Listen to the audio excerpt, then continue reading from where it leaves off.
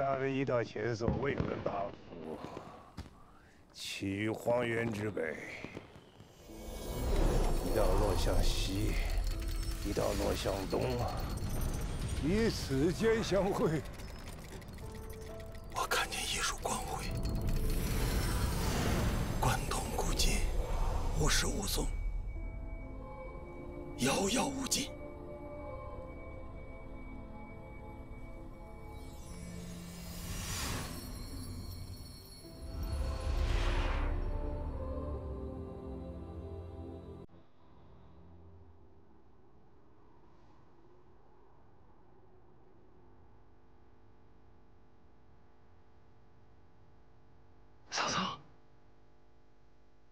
你相信机缘吗？嗯，嗯，你就是我的机缘。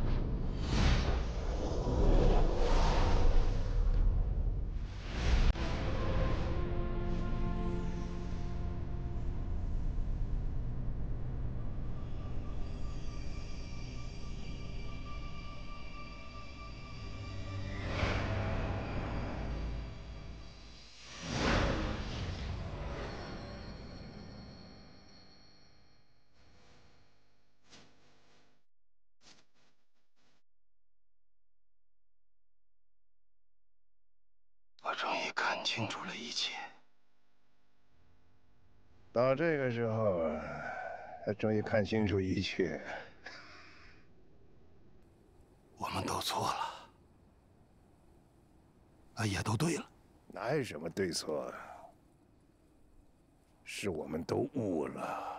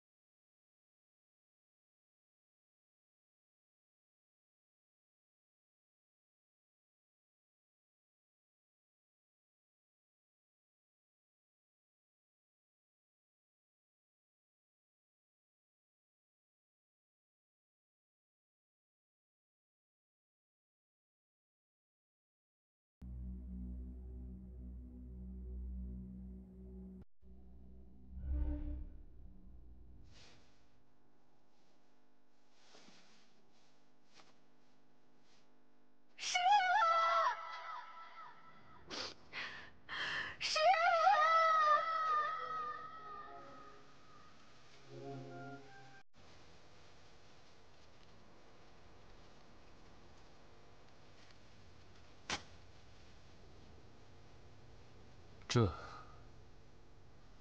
才是真正的得道吧？他们都破了五境，实在太不可思议了。他们怎么做到的？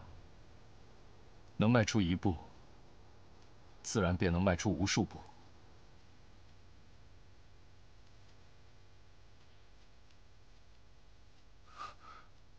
桑桑还在那里，走。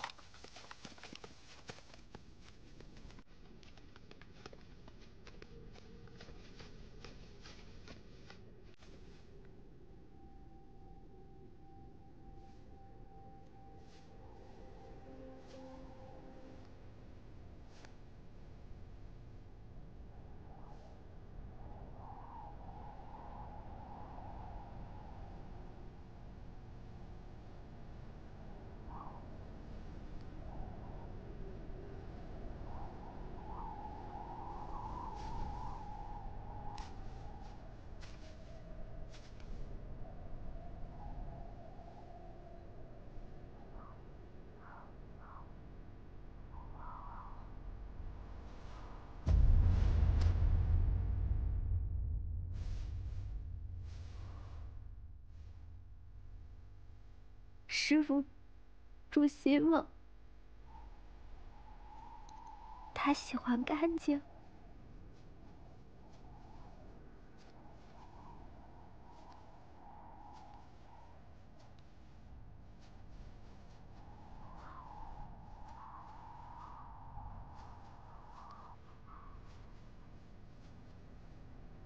少爷的师傅住九王，他不怕油。就让他们留在这儿吧。少爷还不知道我师傅长什么样呢，他一定也想看一眼自己的师傅。我要把他们都带回去，等少爷回来，不能让他们就这样被风吹走了。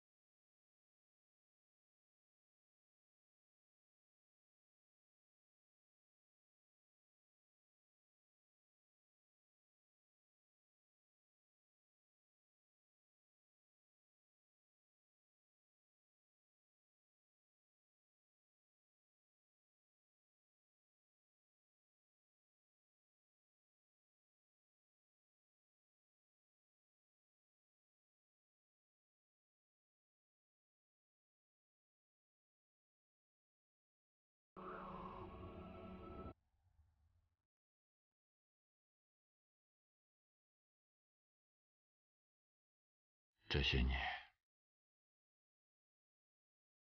一直是师兄有事，站在我的前面。若非有你，哪有什么唐国的国师？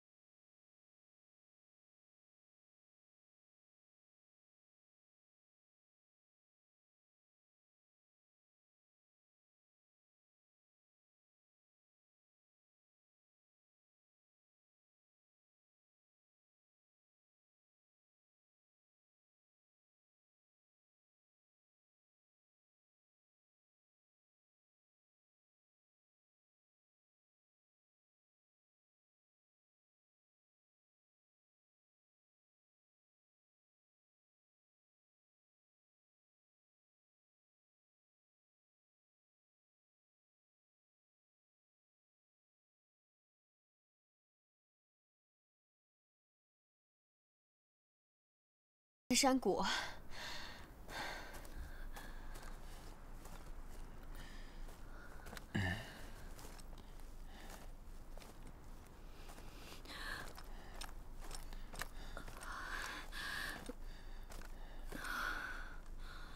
魔宗山门的出口藏在这里。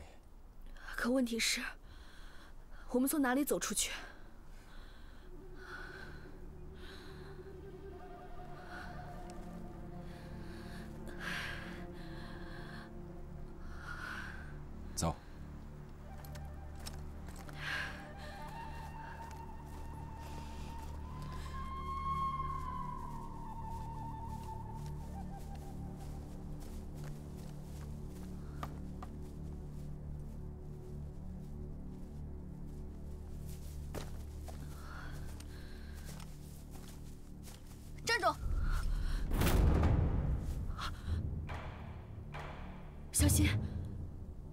宗圣女。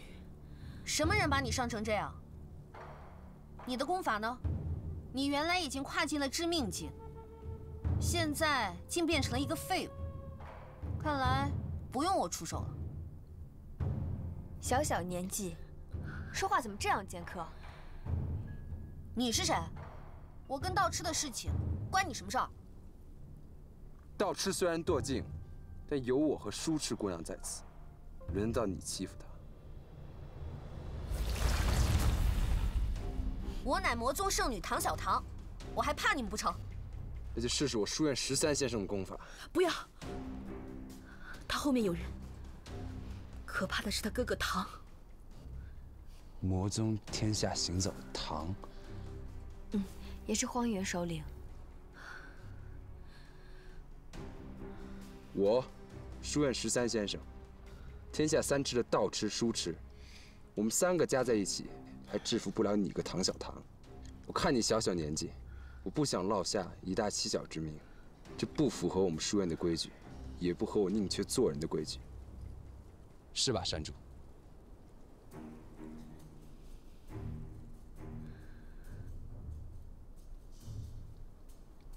不如我们大路朝天，各走一边。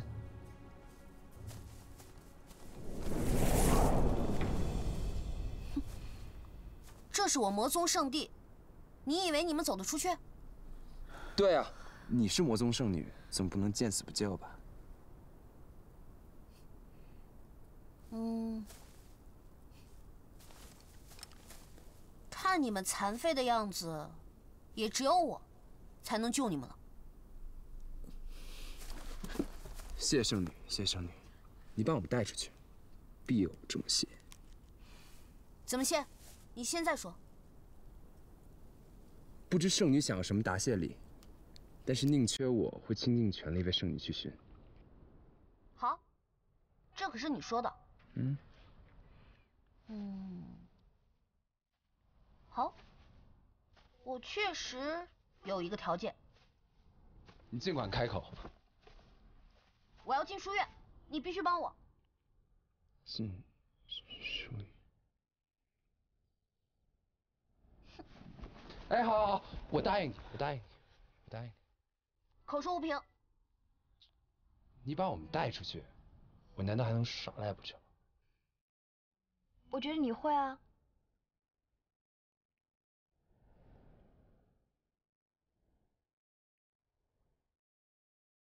立约为证。这荒郊野外的，你有没有笔墨纸砚？我有。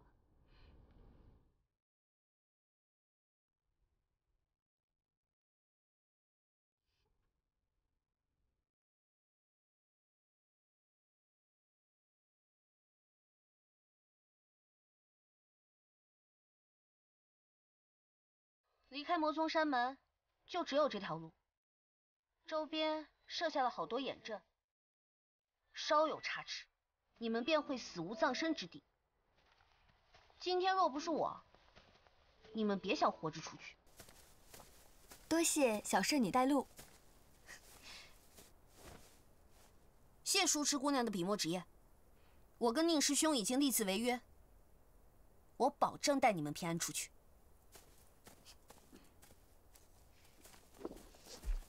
这只狗狗好可爱。皮皮不是狗，是狼。你说什么？它叫什么？皮皮，唐皮皮。它是不是很能吃啊？嗯。它是不是一天到晚都在吃？嗯，你怎么知道？死胖子，不到红颜见到你弟弟啊！嗯。嗯，这个皮皮我很喜欢，我要带他去都城见他哥。他还有哥？嗯，成天给我做一些不堪入口的东西。可是现在想想，他做的东西还挺好吃的。他还会做吃的，他到底是谁？啊，书院的十二先生，大号陈皮皮，绝学天下吸神指。我的十二师兄，世间第一少年天才。我还有点想他们呢。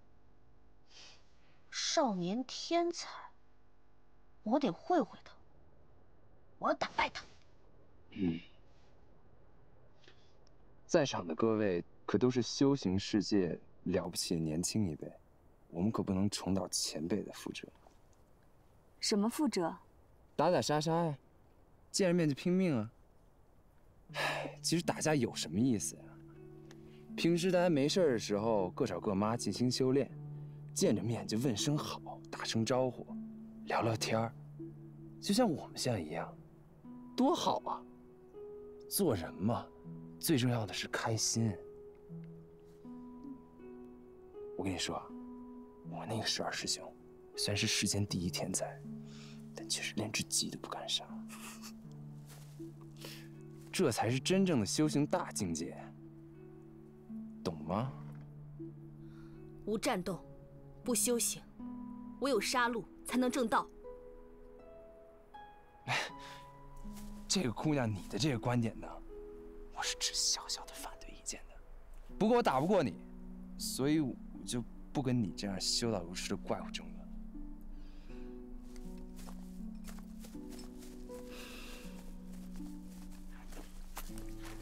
我跟你说，其实我和西陵的仇啊，不比一切。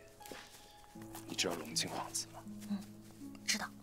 我看见你上一次，一箭把他射穿。你这箭真厉害。后面那个女人一直想杀我，可是之前我们说好了，等出去再动手。如果你跟他打起来了，我肯定站你这边；如果他要打我，你也得出手。宁缺，你能不能闭嘴？夫子收你为弟子，我真替他不耻。你将来一定是书院的祸害。不用将来，我现在已经是书院的祸害了。我那个皮皮师兄啊，和这皮皮狼一样，喜欢吃，而且成天都在吃。到时候去都城啊，我介绍给你认识，你肯定会喜欢他的。到时候有机会去都城，我请三位姑娘吃面。桑桑的煎蛋面。桑桑是谁？桑桑是我的小侍女。你们要知道，桑桑煮的面可是世间最好吃的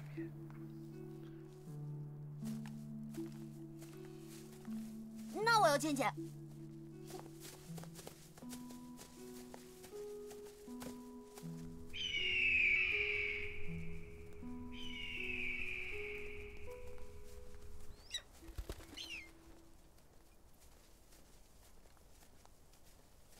前面就是魔宗山门的出口了。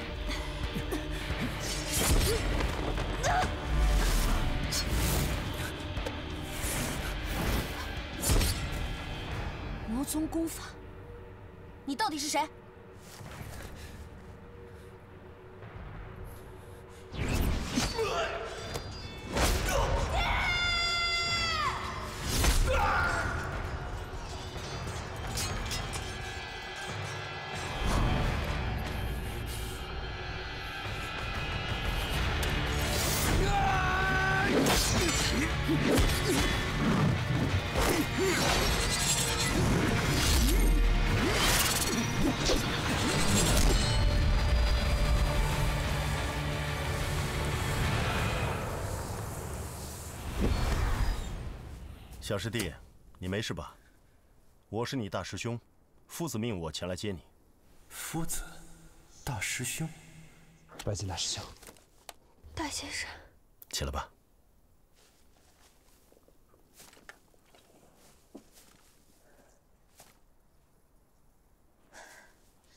原来是书院的大先生。我叫莫珊珊，来自墨池院。莫山主，请起。谢大先生。原来是书院大先生。哼，承让。堂堂大将军竟守在魔宗山门出口偷袭年轻的修行者，这样未免有失身份。抱歉。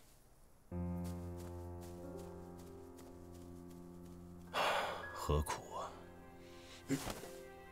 他很强，你现在不是他的对手。那个匣子，你要不要？既然不要就算了。那个匣子里。有很特殊的魔宗气息。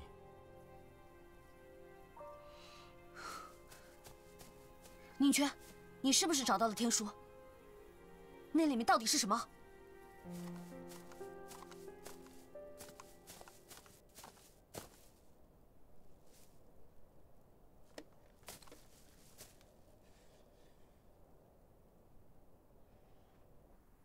莲生大师的骨灰。连生大师。师傅。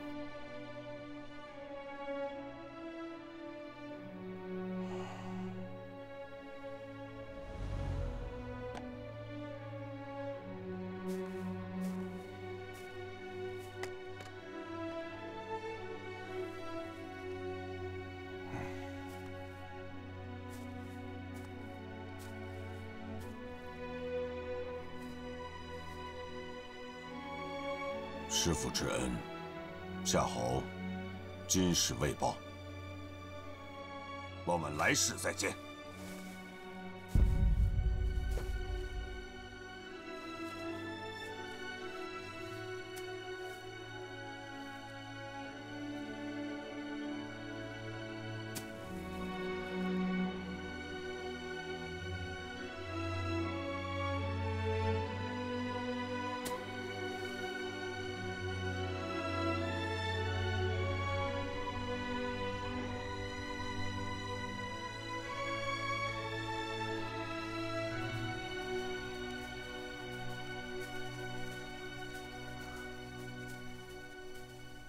此处已经是天齐山外了，你们找得到你们来时的路了吧？快乐的时光总是短暂的，又到说再见的时候了。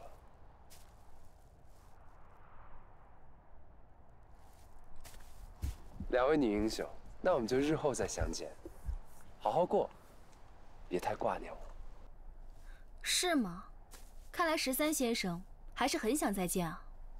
道楚姑娘，其实如果不见，自然是最好的。果然是书院之耻。不过我答应你，看在你这次救了我的份上，下次再见，我会留你一条命。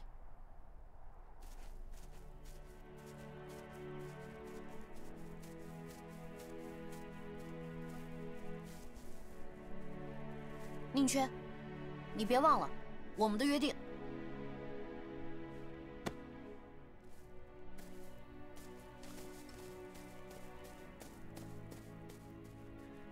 小师弟，你许下了什么诺言？大师兄，我不敢。大先生，十三先生，珊珊就此别过，后会有期。不行，这么大片荒原，你一个姑娘家怎么能一个人走？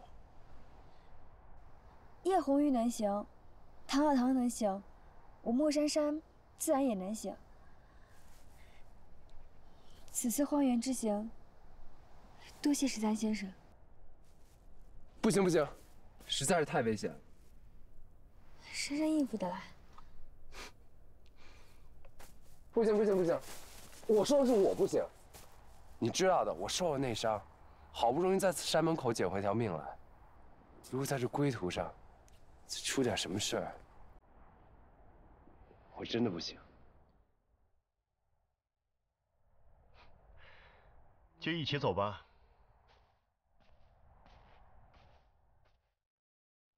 大师兄说的对，我们是一起来的，所以要一起走。快走吧，快走吧，走。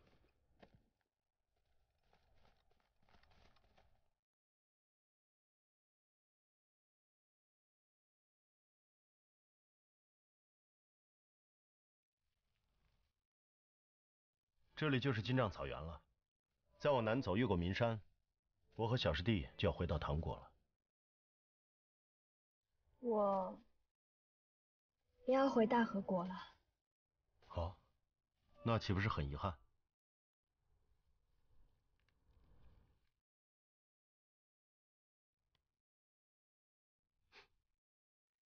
莫姑娘，不如随我跟小师弟一起南下，了解一下唐人的风俗民情。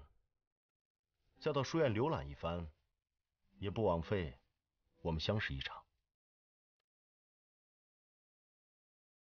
只是我墨书院的姐妹们还在京帐等着与我会合。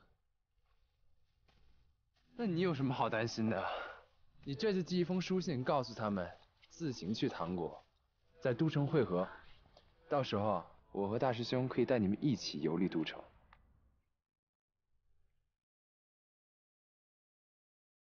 恭敬不如从命了。谢过大先生，谢过十三先生。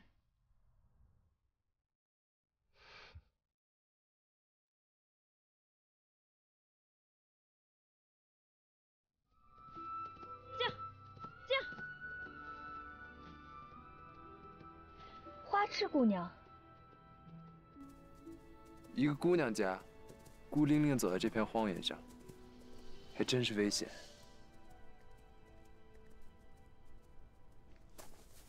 怎么了？你们干嘛都这样看着我？他冒险单骑入荒原，自然是为了寻找隆庆皇子。你心知肚明，怎么现在开始感慨担心啊？我是真的担心。这样，这样。吁。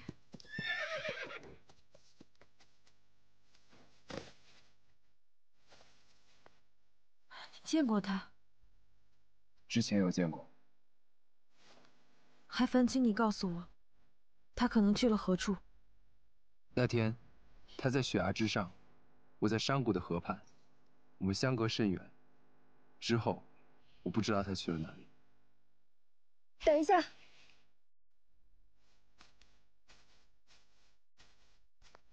这些干粮和水，你带着吧。谢谢。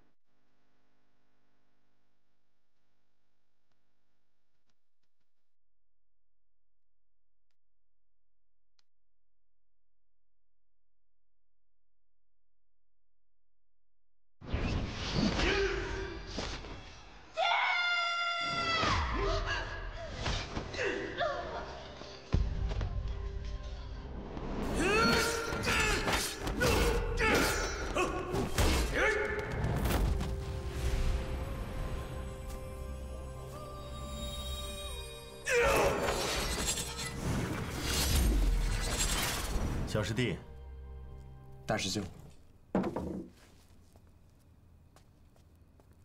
在想什么呢？那件丢失的天书到底在哪里？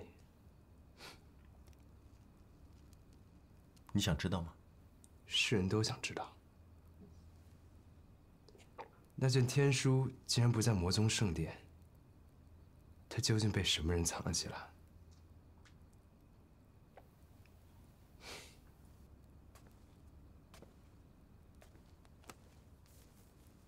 这个，是你要的答案。什么？名字卷天书。名字卷天书。我曾用这本书想要跟你换一把大黑伞，结果被你拒绝了。你还记得吗？我用这本书跟你换。记得，记得。拿去吧。小师弟不敢。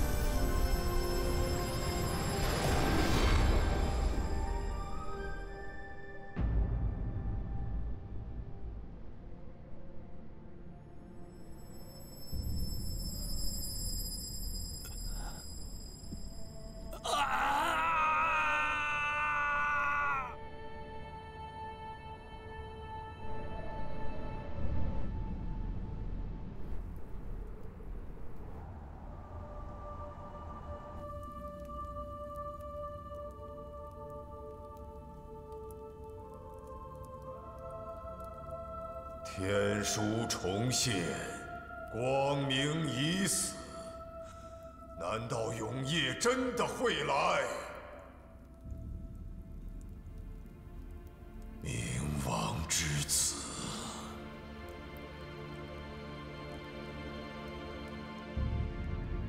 西陵的天院大神官预言天书即将重现荒原，看样子是对的。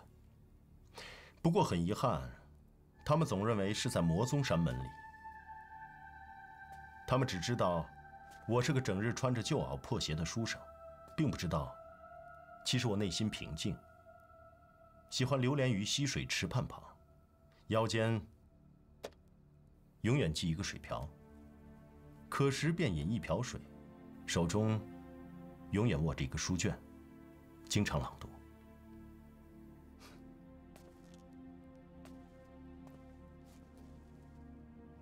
原来失气的名字见天书，一直都在大师兄手里。书院在保护天书。那年，我目视关云破镜入之命，夫子便将他交给我保管。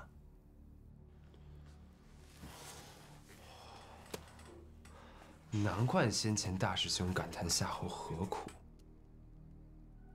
多少人为此生出贪嗔之念，为之搏生斗死，真的是何苦来哉？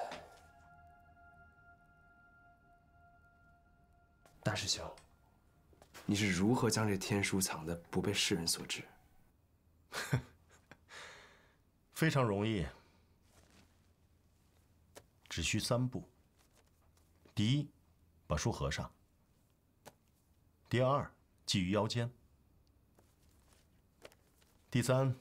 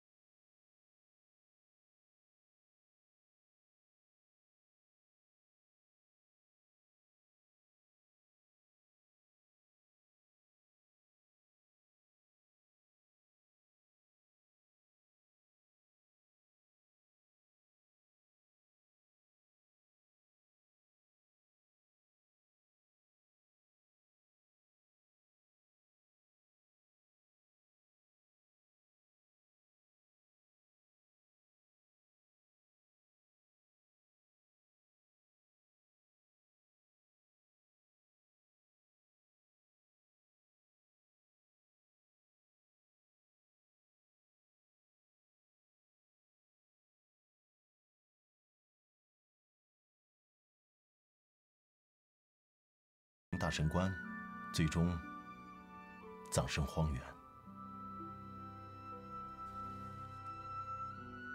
夫子呢？他老人家不是和你一起离开了书院吗？怎么就只有你一个人出现在这里？我和夫子在热海之畔的时候就分开了。夫子现在应该正在喝酒吧？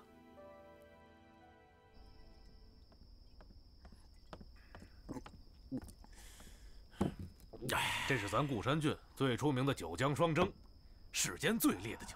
你要是能喝完这一坛，我就不收你的酒钱。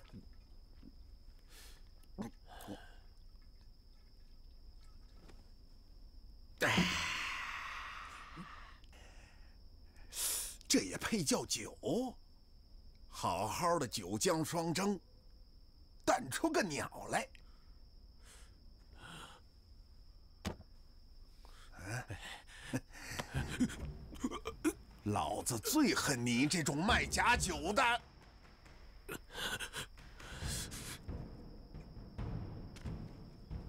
嗯。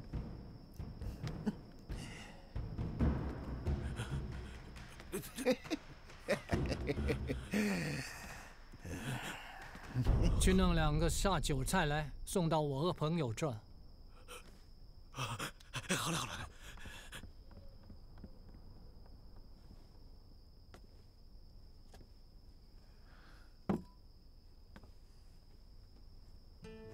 酒徒，我这里有正宗的九香双蒸，只要你跟我走，保证你喝个够。哎，这以后出门得看黄历了，要不然，不是碰着卖假酒的，就是碰着讨债的。我们有多久没见啦？好久，好久啊！为了要找你们俩，我脚都磨破了，鞋子也穿烂了几百双。寒来暑往了，又是一个寒来暑往，几十个寒来暑往了，接着几百个寒来暑往，马上就要有一千个寒来暑往了。找来找去，找到了也没有用。我和屠夫不会答应你任何事。我猜你就得这么说，要不我们打个赌，你若输了，就跟我走。我是酒徒，不是赌徒。